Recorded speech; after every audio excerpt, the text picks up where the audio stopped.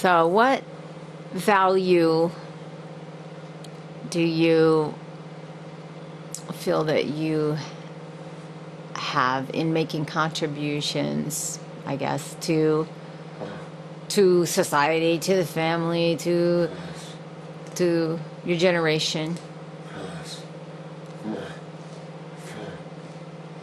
Ask your family.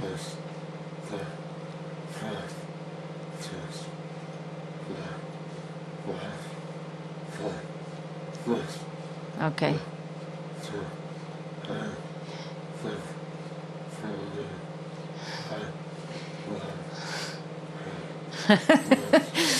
Okay. Well, then I will speak to this question. So, your kids.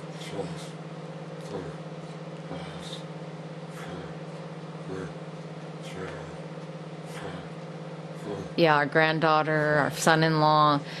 Well, yes, Scott continues to have a impact on our family and those our friends and those that he meets.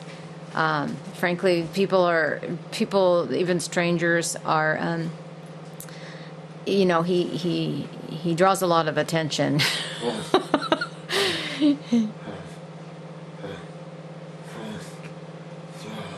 You have a great dad. You have a great family. Uh, your your father and brothers, and your sister. Yes.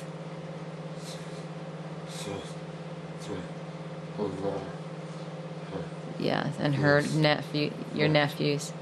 You don't want to leave anyone out. Yes. You, you, yeah, mother-in-law, father-in-law. You, yes. He is part of a immediate family, an extended family, and he's well loved. Um, so, a part any person has these, you know, ties to family, and and uh, it means a lot to to the to the people that are close to um, an individual that has suffering. It means a lot.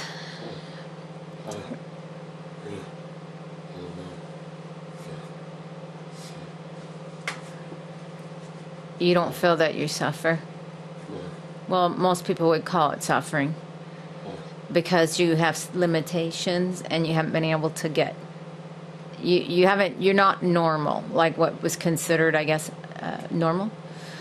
But yeah he his this life his life has tried all of us actually because we have gone through different seasons of of uh, having to trust God ourselves and and uh, for our security, for our uh, capacity, for uh, the the the um, fear that might want to grip us at times, especially uh, at at times where things have gotten very scary with his health, um, where I can, you know, we don't know one day to the next what will happen you know and, and but we've watched god's faithfulness. That's we've learned that we've learned and watched how god's cared and provided. And it's helped us to um, draw closer in our walk with god to just know how much he loves each one of his creation each person. He's made them uniquely unique and wonderful. And uh, Scott is able to uh, minister through his life as as a testament. He's able to just get, you know shine his love, the love of God through him to others, and um, and he does that with our family. He does that with our friends, and and also to to to people that we just meet. So um, the contributions you make are countless, just as any any individual that is impacting people. Um, but I would say within our family, our children have only benefited because they now have compassion. They have they they serve. They they look for people that need help they they're more keen to to notice um, the needs of others.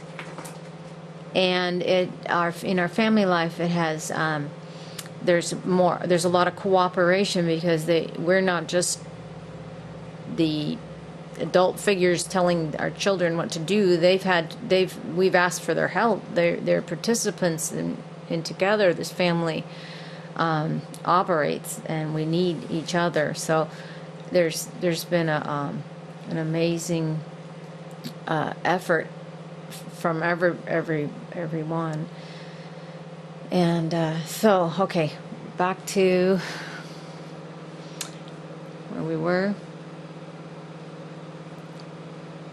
Now, if you you've always believed, and you believe you um, because of your vision that you had and your encounter with Christ in 1998 in a vision um, in the middle of the night you've always held to a promise that God gave you now of, of a divine healing.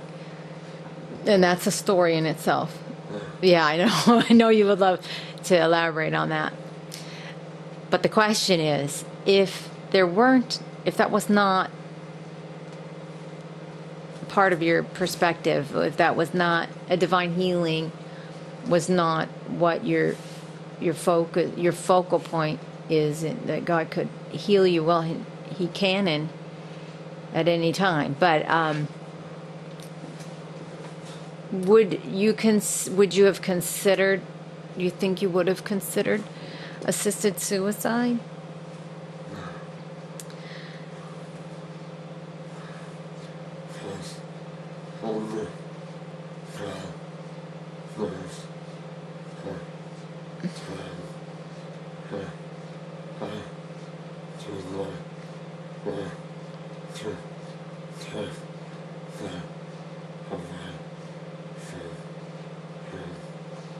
Yeah. Yeah. Yes. Yeah. Glass.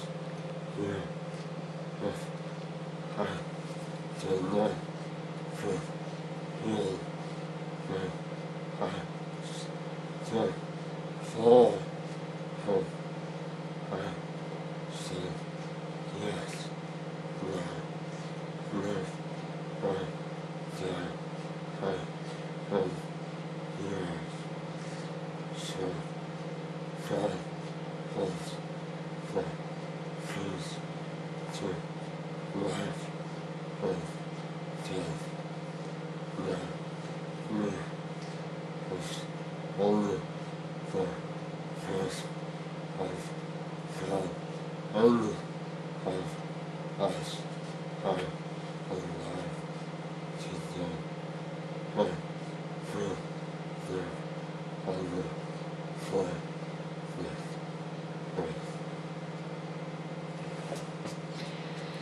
So, but you do last year you did consider, I think, you know, the reality that you there was a there was a, a this different time last year where you you thought, well, maybe I'm not going to get uh, my healing, and you wondered, um, should I just I'm you know going to be going to heaven soon and you were okay with that.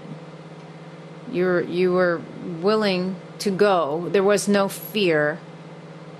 You thought, okay, there's, you know, it's, I'll be with Jesus, no problem. I don't have to hold on to this. You, you really have over and over again laid your life at His feet, and you've said, I guess I'm saying this because I think in the early years you really clung to your promise of healing, and it really has kept you very fervent for healing and for to be to be um, back to the way you were. But now you just you just want to glorify God with however He sees fit and you you decided to, you last year. I remember we we you prayed. We just knew that you had to abide under the shadow of His wing and just trust Him that His way's perfect.